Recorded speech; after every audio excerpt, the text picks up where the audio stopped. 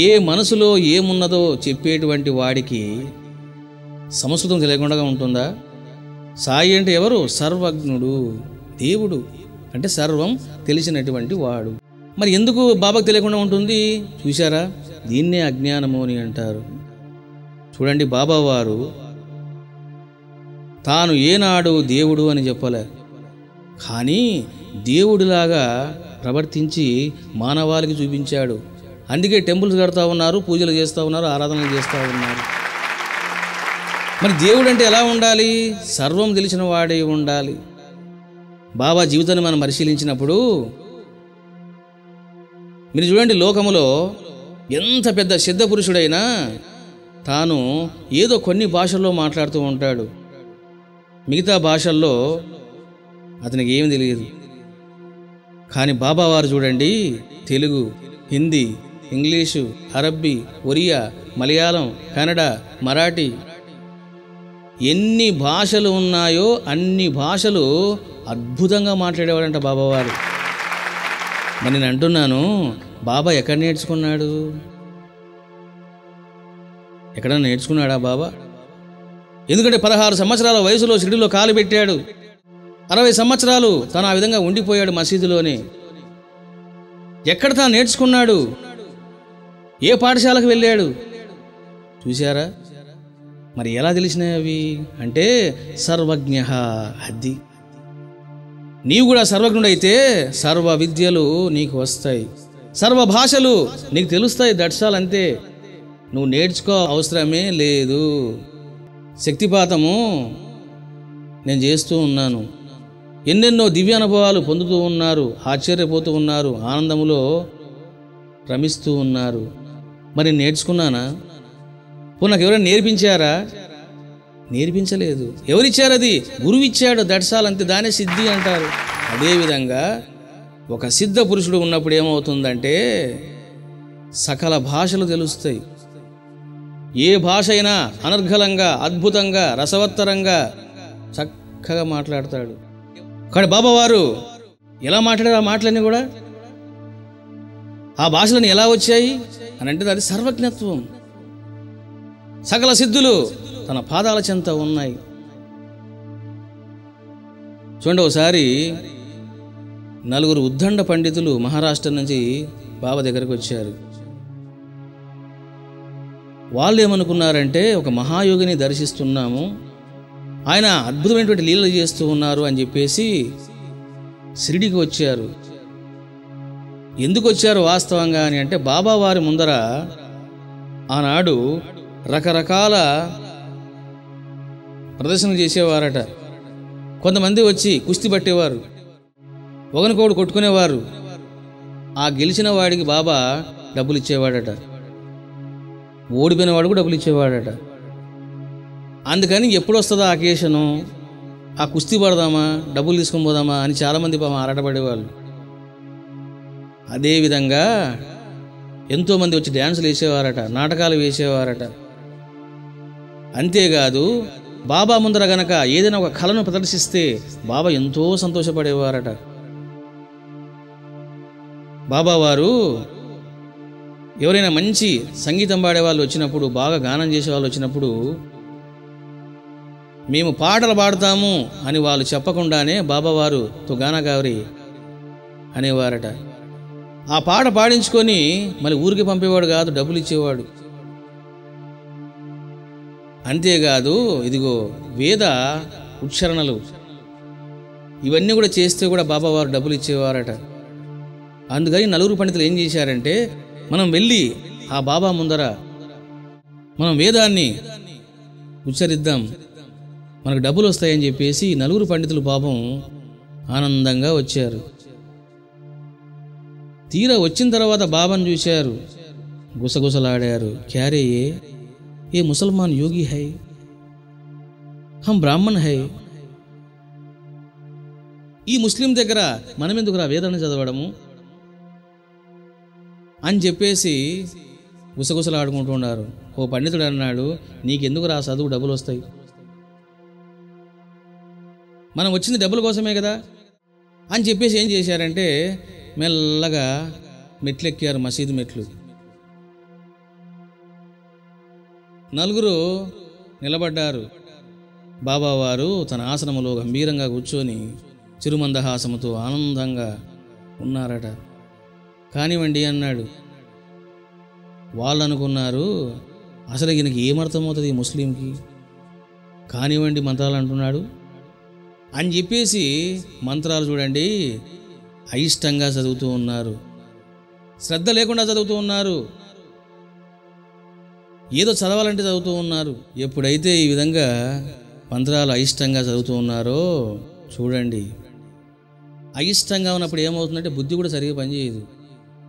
అక్కడక్కడ ఏం చేస్తుందంటే వాళ్ళు మంత్రాలు సరిగా చదవక దాటేసి వెళ్ళిపోతూ ఉన్నారు.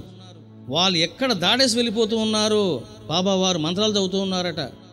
ఎప్పుడైతే బాబావారు మంత్రాలు చదువుతూ ఉన్నారో కాడి ఉప్పు కప్పురంబు ఒక పోలిక చూడ చూడ రుచులా చూడ చూడ అనుకుండగా రుచులా అనడు అనుకో బాబా అనేవారట చూడ చూడ అనేవారట. ఓయమ్మ అనుకున్నారు ఈ పండితులు.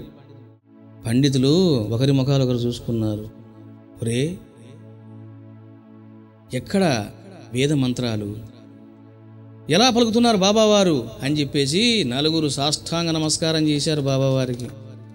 అంటే ఎందుకు అని అంటే సంస్కృతం బాబా నేర్చుకోలేదు. ఈజ్ అ సిద్ధ అది సిద్ధ పురుషుడైన అన్ని విద్యలు ఆయన దగ్గర ఉంటాయి. మరి ఇటువంటి బాబాను గురించి నానా చందోర్కర్ ఏమర్థం చేసుకున్నాడు? చూశారా? సంస్కృతము బాబాకి ఏం తెలుసు అనుకున్నాడు? నెంబర్ వన్ ఇప్పుడు అంటున్నాడు శంకరాచార్యులు ఆ విధంగా రాయలేదు బాబా మరొకరు ఆ విధంగా రాయలేదు బాబా అని అంటూ ఉన్నాడు. అంటే ఏమిటి? మీరు ఏదైతే చెబుతూ ఉన్నారో ఆ సిద్ధాంతం పోసగదు. కారణం ఏమిటి అని అంటే ఆ విధంగా అజ్ఞానము అని పలకరాదు. అంతేకాదు బాబా ఉపదేశంతితే జ్ఞానం జ్ఞానిన తత్వదర్శన. మరి జ్ఞానులు జ్ఞానాన్ని చెప్తారు కానీ ఎక్కడైనా అజ్ఞానం చెప్తారా? ఏమిటి బాబా? ఇది సరికాదు అన్నాడు నానచందర్కర్. చూడండి. నిజమే మరి. సంగీత మాస్టర్ సంగీతం చెప్తాడు కానీ డ్యాన్స్ చెప్తాడేంటి కాబట్టి జ్ఞానులు ఏం చెప్తారు? జ్ఞానాన్నే చెప్తారు. మరి జ్ఞానులు జ్ఞానాన్ని చెప్పకుండా అజ్ఞానం ఎందుకు చెప్తారు? అజ్ఞానం ఎలా చెప్తారు బాబా? దెర్ ఇస్ నో ఛాన్స్ అంటూ ఉన్నాడు నానా చందోర్కర్. తాను పండితుడు కాబట్టి పండితుడు భాషలోనే మాట్లాడుతూ ఉన్నాడు. అప్పుడు బాబా ఇలా అన్నారట నీవు జ్ఞానం రీత్యా చెప్పిన అర్థాన్ని నేను అర్థం చేసుకున్నా నానా. ఓకే నువ్వేమంటుండవు? తద్విద్ది ఆ పరమాత్మను. తెలుసుకున్నటువంటి జ్ఞాని నీ ఆశ్రయించి సేవించి వినయంగా ప్రశ్నించినప్పుడు వాళ్ళు జ్ఞానాన్ని బోధిస్తారు అని నువ్వు అంటుండవు. ఎస్ ఓకే నేను ఒప్పుకుంటున్నాను. నేను ఒప్పుకోవడం లేదని చెప్పడం లేదు నీకు. నీవు జ్ఞానం రీత్యా చూసారా జ్ఞానము రీత్యా. According to the word of the జ్ఞాన. I'm compromising what your saying నేను ఒప్పుకుంటూ ఉన్నాను. ఆ పదాన్ని అజ్ఞానము అని అనుకుంటే వచ్చే నష్టం ఏముంది? అన్నారట బాబావారు. అక్కడ అజ్ఞానము అని అనుకుంటే నష్టం ఏముంది ఎందుకు అని అంటే ఆ శ్లోకములోన ఉపదేశంతి తే జ్ఞానం అని ఉంది. అక్కడ ఒక చిన్న కామ పెట్టవచ్చు దాని అవగ్రహము అంటారు. మాకు నవగ్రహాలు తెలుసు. అవగ్రహం కూడా ఉందా స్వామి? దాన్ని ఆ కామని ఏమంటారంటే అవగ్రహము అంటారు. చల్లగా అవన్నీ మీకెందుకు కానీ గోలా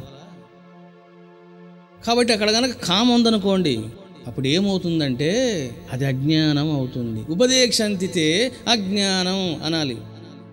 కామ గనక లేదనుకోండి అక్కడ దాని అవగ్రహం కనుక లేదనుకోండి ఉపదేశంతితే జ్ఞానం. వాళ్ళు జ్ఞానాన్ని బోధిస్తారు అనే ప్యాటర్న్లో మాట్లాడతారు. అక్కడ కనుక అది ఉందంటే మాత్రం అకారాన్ని యాడ్ చేసుకోవాలి. బాబా అంటున్నారు ఆ విధంగా అర్థం చేసుకోవడం వల్ల నీకు ఏంటి నష్టం? ఛందస్సు ఏమైనా మారుతుందా? ఛందస్సు మారడం లేదు. ఒకసారి చూసుకో. ఎందుకు? Whenever you're using అవగ్రహ there is no change in the ఛందస్. ఛందస్సులో మార్పు ఉండదు. కాబట్టి అక్కడ కామ పెట్టుకుంటే నీకేం నష్టమో అన్నారు. చూశారా? దీన్నే అద్భుత వ్యాఖ్యానము అని అంటారు. ఎందుకంటే లోకములో ఇప్పటిదాకా భగవద్గీతకు కొన్ని వందల మంది కాదు. కొన్ని వేల మంది వ్యాఖ్యానం చేశారు. అవన్నీ కూడా కురుక్షేత్రములో లైబ్రరీలో భద్రపరచబడి ఉన్నాయి. మీరు ఒకసారి కురుక్షేత్రకు వెళ్తే ఆశ్చర్యపోతారు. ఏమిటయ్యా అని అంటే డిఫరెంట్ లాంగ్వేజెస్లో ఆల్ లాంగ్వేజెస్ భగవద్గీతకు విభిన్న మహాత్ములు వ్యాఖ్యానం చేశారు. చేసి ఏం చేశారు? ఆ కురుక్షేత్రములో ఉంచడం జరిగింది. చూడండి. ఉన్న గీతను సరిగా అర్థం చేసుకుంటారా అంటే వ్యాఖ్యానం చేసి కురుక్షేత్రానికి వీళ్ళు అక్కడ పెడుతూ ఉన్నారు. కృష్ణ నువ్వు సరిగా అర్థం చేసుకో అని. కృష్ణుడు ఏం చేస్తున్న తల పట్టుకుంటున్నాడు. చూడండి. కృష్ణుడు ఎక్కడ చెప్పాడు? భగవద్గీత కురుక్షేత్రంలో చెప్పాడు. అందుకని వీళ్ళు ఏం చేస్తున్నారు? కృష్ణ ఇది నా వ్యాఖ్యానం అని వెళ్ళి కురుక్షేత్రంలో పెట్టి వస్తూ ఉన్నారు. ఏదో సాధించినాము అనుకుంటున్నారు. ఏం సాధించినారు మీరు? ఏమీ సాధించలే. ఎందుకు అని అంటే నువ్వు సరిగా అర్థం చేసుకోలేదు ముందు. కురుక్షేత్రములో భగవద్గీతకు వేల వ్యాఖ్యానాలు ఒక ఎత్తు సాయినాథుని వ్యాఖ్యానం మరొక ఎత్తు. నీకు తెలిసిన అవన్నీ కూడా ఇదిగో సాధారణ గురువులు వ్యాఖ్యానాలు. ఇది సిద్ధగురు వ్యాఖ్యానం. చూసారా ఈ ప్యాటర్న్లో కనుక భగవద్గీతకు వ్యాఖ్యానం రాస్తే ఇక కృష్ణుడు నాట్యం చేస్తాడు మురళీగానం వినిపిస్తాడు.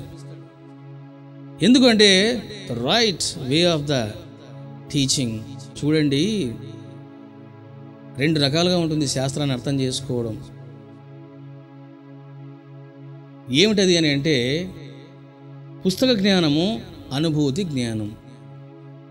పుస్తక జ్ఞానం వేరు అనుభూతి జ్ఞానం వేరు. సంస్కృతం నువ్వు నేర్చుకొని నేను బాగా అర్థం చేసుకుంటాను అంటే నో యూస్ ఎందుకంటే ఆ శాస్త్రమే చెప్తుంది? నాయన శాస్త్రజ్ఞోపి శాస్త్రజ్ఞోపి స్వాతంత్రేన? ఒకవేళ నీకు శాస్త్రం తెలిసినా కూడా సంస్కృతం బాగా తెలిసినా కూడా స్వాతంత్రేన? చూసారా నీవు సొంత బుద్ధితో బ్రహ్మ జ్ఞానాన్వేషణం న కుర్యాత్ అది. శాస్త్రజ్ఞోపి స్వాతంత్రేన బ్రహ్మ జ్ఞానాన్వేషం నా కుర్యాతు నువ్వు ఆ విధంగా చేయకూడదు. ఏమిటి కారణం? అనంటే నీది సరైన వ్యాఖ్యానము కాదు. యువర్ యూసింగ్ యువర్ ఇంటలెక్ట్ నీవు నీ బుద్ధిని ఉపయోగిస్తున్నావు. బుద్ధికి అతీతమైనటువంటి పరబ్రహ్మ జ్ఞానం కాబట్టి నువ్వు అనవసరంగా అపార్థం చేసుకుంటావు జారిపోతావు అని శాస్త్రము వాని హెచ్చరిస్తూ ఉంటుంది. అక్కడ బాబా అంటున్నారు అక్కడ జ్ఞానం ప్లేసులో అజ్ఞానం పెడితే ఏమిటాయా నీకు నష్టం? నేను అజ్ఞానమే పెడతాను అంటాను అన్నారు బాబా వారు. ఇక నానా చంద్రకు మతిపోయింది బాబా నాకేమి ఇంక అర్థం కావట్లేదు ఈ విషయంలో. ఎందుకంటే మరి ఏ మహాత్ముడు ఆ విధంగా వ్యాఖ్యానం చేయలేదు? మరి మీరేమో వింతగా వ్యాఖ్యానం చేస్తూ ఉన్నారు. నేను అజ్ఞానం అంటాను అంటే నేనేమంటాను? నేనేమనను అన్నాడు. అప్పుడు బాబా వారు అయితే నువ్వు వినరా అని చూడండి అద్భుతమైనటువంటి రహస్య మూడులను నిపుతున్నారు బాబావారు.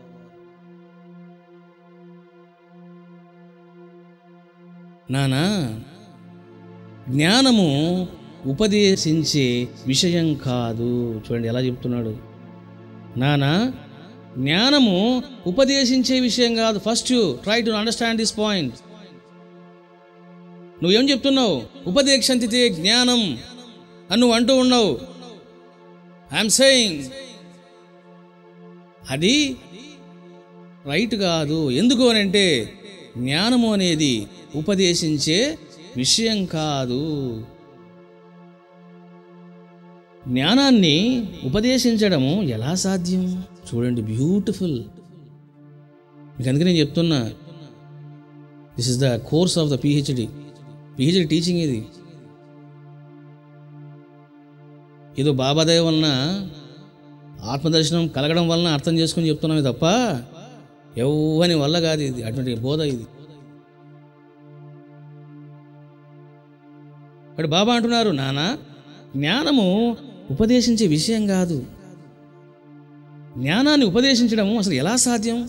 చూశారా? నువ్వు జ్ఞానాన్ని ఉపదేశిస్తావా? ఎలా సాధ్యం అది? సర్వశాస్త్రాలు బ్రహ్మాన్ని దర్శింపచేయలేవు. బ చూడండి. సర్వశాస్త్రాలు బ్రహ్మాన్ని దర్శింపజేయలేవు టీచింగ్ ఇంకా లోపలికి వెళ్తా ఉంది. ఇంకా చాలా డీప్గా వెళ్ళిపోతాడు. ఇప్పుడు ఫస్ట్ ముందు మూడు ముక్కలు చూద్దాం. బాబా అంటున్నారు జ్ఞానం ఉపదేశించే విషయం కాదు అంటున్నాడు.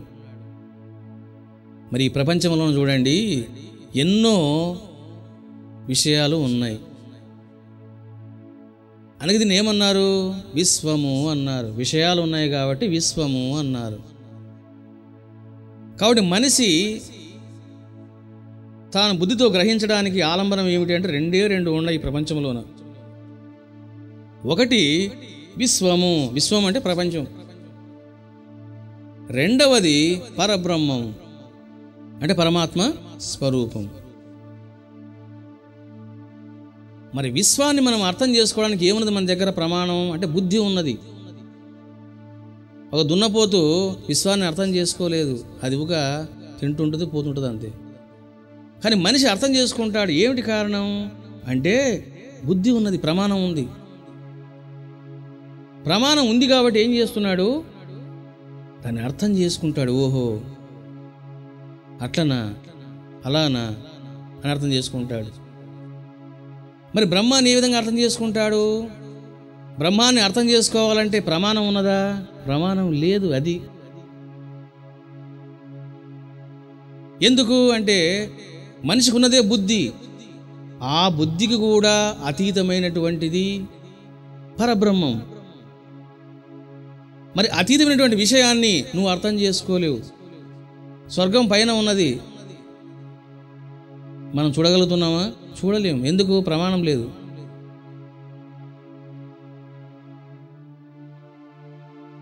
అమెరికా ఉన్నది. నువ్వు అమెరికాను కూడా చూడొచ్చు. ఎలా చూస్తూ ఉన్నావు? ఇదిగో ఒక టీవీలో అమెరికాను చూడొచ్చు. ఎందుకు? నీకు ప్రమాణం ఉన్నది. నీకు టీవీ ప్రమాణంగా ఉన్నది. కాబట్టి విశ్వాన్ని అర్థం చేసుకోవడానికి నీకు బుద్ధి ఉన్నది. పరబ్రహ్మాన్ని అర్థం చేసుకోవడానికి ఏముంది? ప్రమాణం లేదు. అందుకే అవాంగ్ మానస గోచర. వాక్కు దొరకదు మనసుకు దొరకదు బుద్ధికి దొరకదు.